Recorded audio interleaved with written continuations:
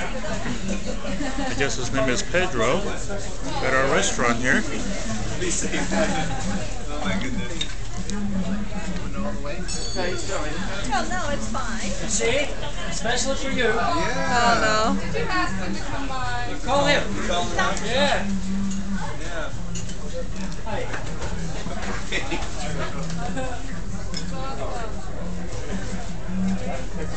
It's so big. I know.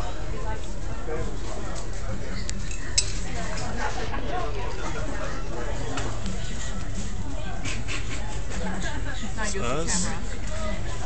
Having dinner or lunch, I should say. It's a lesson. Elegant. And like I said, there's Pedro. The pelicans are smaller now.